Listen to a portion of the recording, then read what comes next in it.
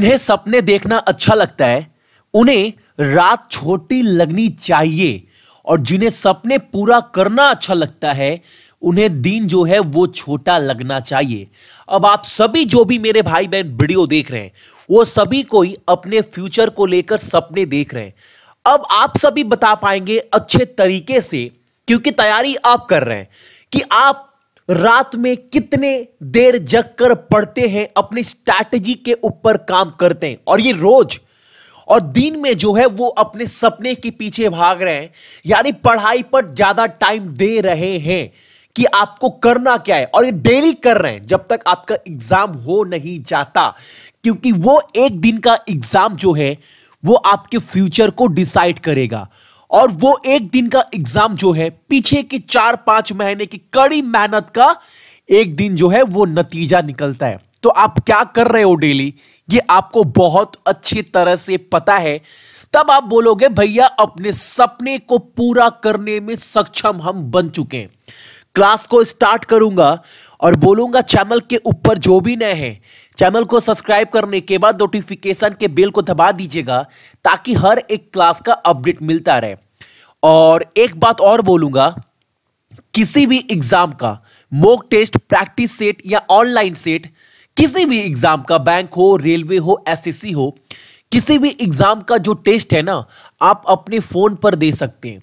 ताकि आप एग्ज़ाम से पहले जज कर पाओ, एग्ज़ाम जैसे पेपर में आप स्कोर क्या कितना कर पा रहे हैं। इसके लिए आप हमारा एप्लीकेशन सक्सेस की 98 डाउनलोड कर सकते हैं गूगल के प्ले स्टोर से। और एक बात साथ में बोलूँगा, अगर तीन सौ उनचास वाला पैकेज बाई करते हैं, एक साल के वैलिडिटी के साथ, यानी अगर 349 वाला पैक लेते हैं तो एक साल के वैलिडिटी के साथ आपको हर एक एग्ज़ाम का टेस्ट दिया जाएगा। ठीक है?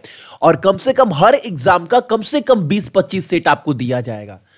सो so, आज कवर करने वाले हैं हम सभी दो और तीन फरवरी के इंपॉर्टेंट करेंट अफेयर और कल रात को साढ़े ग्यारह बजे मैंने आप सभी को बजट के टॉप पैंतीस क्वेश्चन एक एक पॉइंट को बहुत बेहतरीन तरीके से समझाया है पीडीएफ भी दे दिया है तो प्लीज़ वो वीडियो पूरा देखने के बाद पीडीएफ जो है वो आप सभी डाउनलोड कर लीजिएगा। तो देखते हैं आज का पहला जो प्रश्न है, हमारे सामने क्या निकल कर आ रहा है। और आज का जो पहला क्वेश्चन है, वह यह है कि भारत की पहली, यानी भारत का पहला सुपर फैब लैब का निर्माण करने के लिए लगभग किसी भी मशीनरी का उद्घाटन कहाँ किया गया है?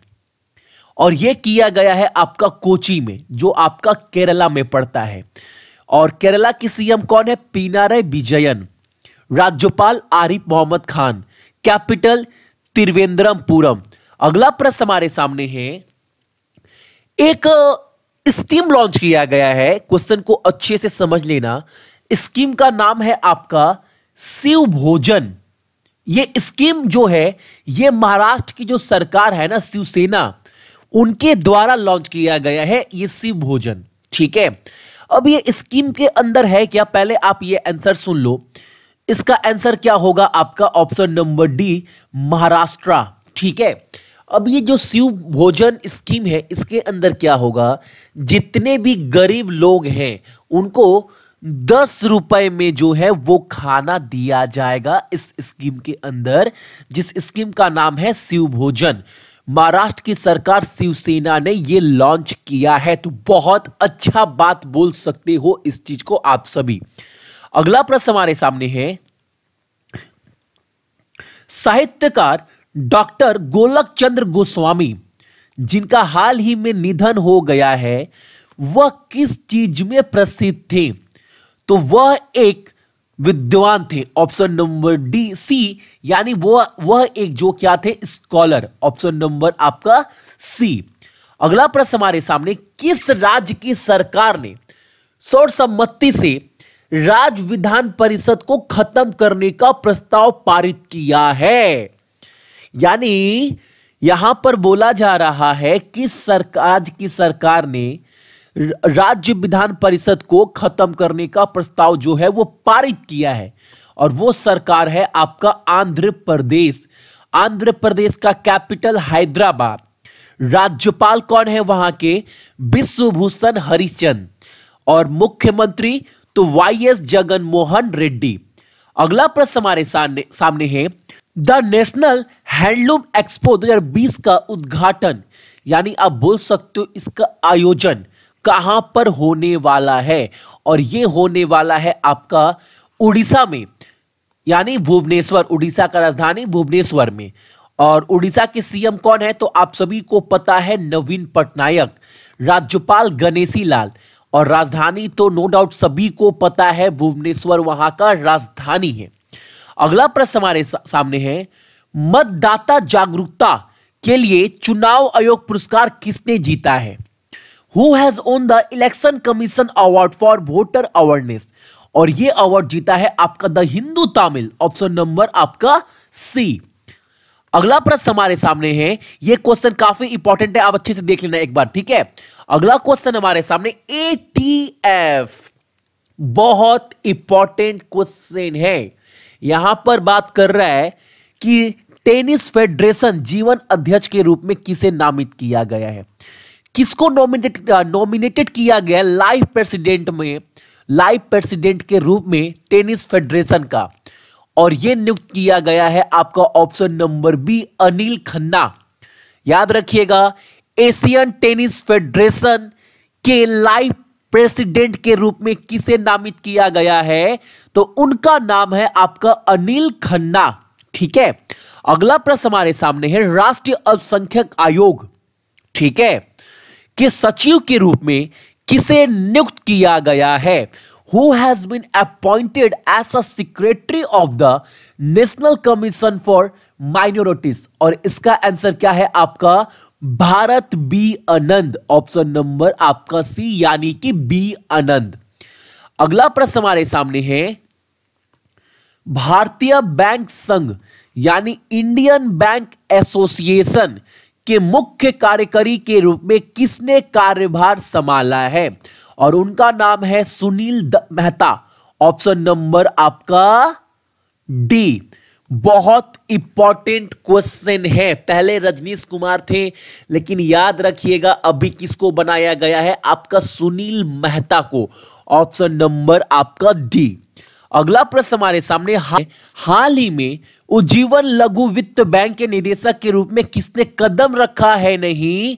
किसने इस्तीफा दिया है? यहाँ पर होगा हिंदी में। तो कदम को काट दीजिएगा। हाल ही में उज्जीवन लघु वित्त बैंक के निदेशक यानी डायरेक्टर के पद से किसने इस्तीफा दिया है? और इस्तीफा दिया है आपके सचिन बंसल, ऑप्शन नंबर आपका बी। अगला प्रश्न हमारे सामने है तीसरा ग्लोबल आलू कंक्लेव किस शहर में आयोजित किया जा रहा है? और आप सभी को पता है, मोदी जी ने इसका उद्घाटन किया था और कहाँ पर? गुजरात के गांधीनगर में। ऑप्शन नंबर आपका सी, ठीक है? और गुजरात के सीएम कौन है? विजय रूपानी। राज्यपाल आचार्य देवव्रत। और कैपिटल तो वो है आपका गांधीनगर। अगला प्रश्न हमारे सामने है, टिफ़िन के लिए ऑक्सफोर्ड बहुत इंपॉर्टेंट क्वेश्चन है ये वाला भी। Oxford book store book cover पुरस्कार किसने जीता है? यह टिफ़िन एक तरह, एक किताब है, एक पुस्तक है जिसके अंदर 500 खाने की विधि को बताया गया। रेसिपी बोल सकते हो, ठीक है? और ये पुरस्कार दिया गया है आपका स्नेहा पमनेजा को। ऑप्शन नंबर आपका डी अगला प्रश्न हमारे सामने, विनय सिन्हा को उनके योगदान के लिए जाना जाता है और हाल ही में उनका निधन हो गया है। आपको बताना है, वह किस चीज़ में प्रसिद्ध थे या किस चीज़ से वो जुड़े हुए थे? तो मैं आपको बता दूँ, विनय सिन्हा बहुत अच्छे प्रोड्यूसर थे, यानी वो फ़िल्म से जुड़े हुए थे। अगर इनकी मैं एक दो मूवी के नाम बताऊँ, अगर मुझे याद हो तो तो एक तो मूवी याद आता है, मुझे मुझे अंदाज अपना अपना अमिताभ का नसीब बोल सकते हो। ऐसे फ़िल्म के ये प्रोड्यूसर थे तो बहुत बड़ा नाम है बॉलीवुड में। तो याद रखना, विनय सिन्हा जी का हाल ही में निधन हो गया है, जो जो एक वह क्या थे? प्रोड्यूसर थे, जो फ़िल्म से जुड़े हुए थे। ऑप्शन नंबर आपका बी अगला प्रश्न हमारे सामने है सुप्रीम कोर्ट ने भारत में किस जानवर को लाने की अनु, जो अनुमति है वो दे दी है? परमिशन दे दिया गया है। अलाउड कर दिया गया है। तो वो जानवर है आपका अफ्रीकन चीता। ऑप्शन नंबर आपका सी ठीक है?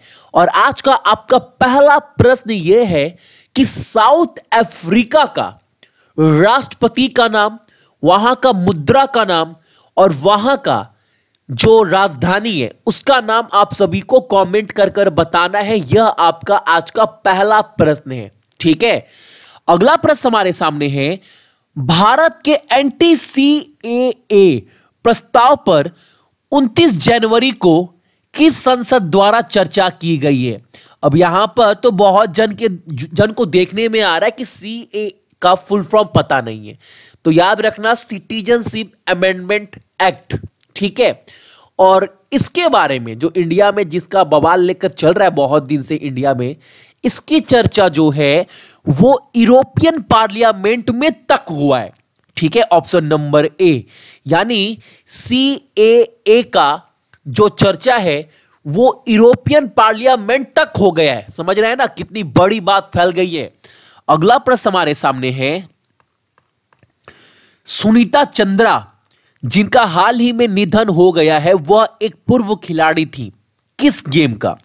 तो वह एक हॉकी महिला खिलाड़ी थी और ये इंडियन टीम की कैप्टन भी रह चुकी हैं। यह भी आप याद रखिएगा। अगला प्रश्न हमारे सामने, कतार के नए प्रधानमंत्री का नाम आप सभी को कमेंट कर कर बताना है। और कतार के नए प्रधानमंत्री का नाम क्या है? तो उनका नाम है शेख खालिद बिन खलीफा बिन अब्दुल अज़ीज़ अल थानी। बापरे ये नाम काफ़ी बड़ा है, याद रखिएगा। क्या नाम है? मैं एक बार और आप सभी को जो है वो रिपीट कर दे रहा हूँ। शेख खालिद बिन खलीफा बिन अब्दुल अज़ीज़ अल थानी। यार माँ बाप ने भी सोच समझ के नाम रखे होंगे इतना बड़ा। ठीक है, ये कतार के नए प्रधानमंत्री हैं। अगला प्रश्न हमारे सामने है मार्क सेरे, जो किस देश के प्रधानमंत्री थे, जिन्होंने अपने इस्तीफा की घोषणा कर दी है? तो मार्क सेरे जो है, वह सोल्वेनिया के प्रधानमंत्री थे, जिन्होंने अभी इस्तीफा की घोषणा कर दी है। और एक बात याद रखिएगा, सोल्वेनिया का कैपिटल याद रखना है, आप सभी को मुद्रा वहाँ का याद रखना है, और वहाँ के राष्ट्रपति का नाम।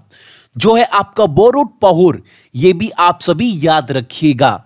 अगला प्रश्न हमारे सामने है, संयुक्त राज्य में, यानी यहाँ पर बोल रहा है, अमेरिका में भारत के राजदूत के रूप में किसे नियुक्त किया गया है? और उनका नाम है आपका तरनजीत सिंह संधू, ऑप्शन नंबर आपका डी।